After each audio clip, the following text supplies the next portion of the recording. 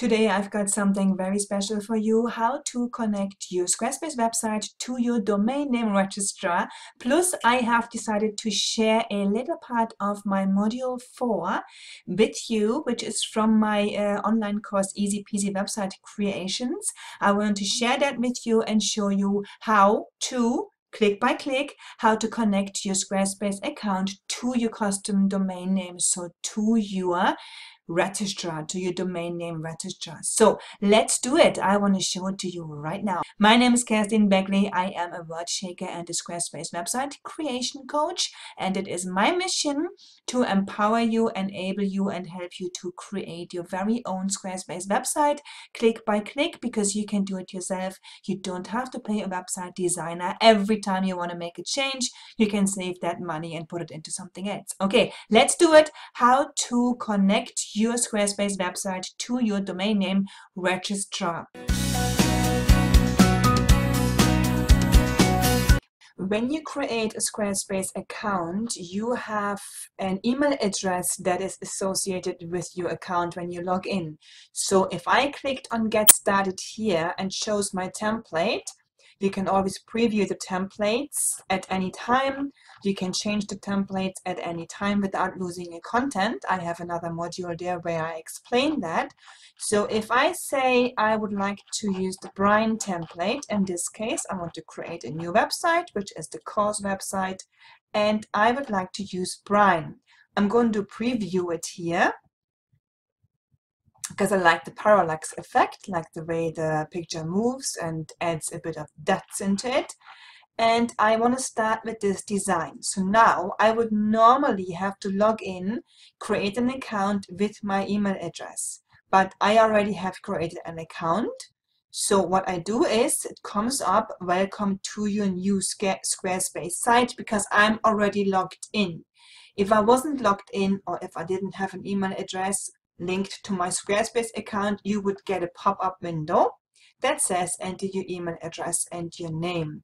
So I'm going to start here and you have to answer a few questions what the website will be about. So in this case, it's going to be my easy peasy website creation course. So I am going to click education, meaning training, but they don't have training. So I'm clicking education, click next, and then I click maybe blog or regularly publish content and maybe sell services online. So I'm going to go next and that way Squarespace knows um, how to help me get my website out there.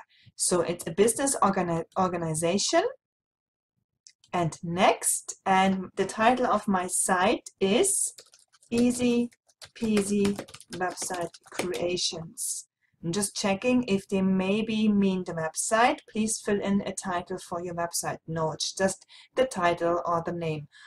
Easy peasy website creations. And done. So now this is the website. And now in order to connect it with my domain registrar, what I do is I go into settings, I go into domains.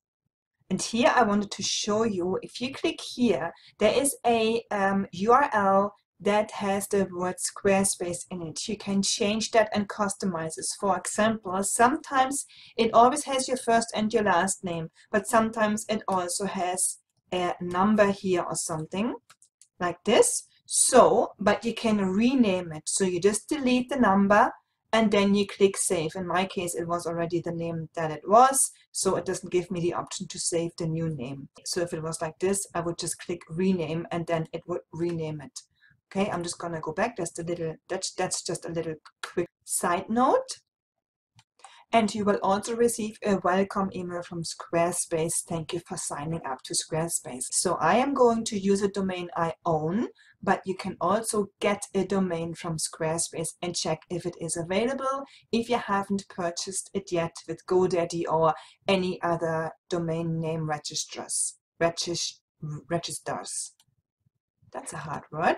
Okay, in my case, I have already purchased Easy Peasy Website Creations.com. Easy Peasy Website Creations.com. Continue. and then I am waiting for Squarespace to create the DNS. Transfer to Squarespace? No, I don't want that. I want to connect from provider. So I click this and then I click connect domain. But first I'm going to check if I have Panthur here because I am registered with Panthur because that he's they are Australian and they have live chat. But you don't have to. So if you depending on wherever you bought your domain, usually it's GoDaddy because they are huge, but it doesn't have to be. So mine isn't here, Panthur isn't here. So I'm gonna go other connect domain. Connecting in progress. Easy peasy website creations is connecting to your site. Continue to set up your DNS records. Okay. And then this appears. So what I do now is I am just going to copy all of these, control copy, and now I am going to find the email address of Panthur. So let's say this is the email address or the email body. I would then paste it into the email body and send this to my to Panthur, to my domain name register. And I say, can you please connect my DNS to Squarespace. My domain name DNS to Squarespace. And that's it. That's all you have to do. So you go back here, and as they're doing it, it'll take about 24 hours, unless you have live chat. It, it takes literally three minutes if you do it with live chat, which you can do with GoDaddy because I did it. That's why I know. And then this will turn green, corrected, and it will say corrected, and it will turn green. And that's it. It's done. If, as you click refresh, it will be done really quickly. In this case, it's not because I'm not actually doing it right now. But that is all there is to it to connect your Squarespace website to your customized domain name.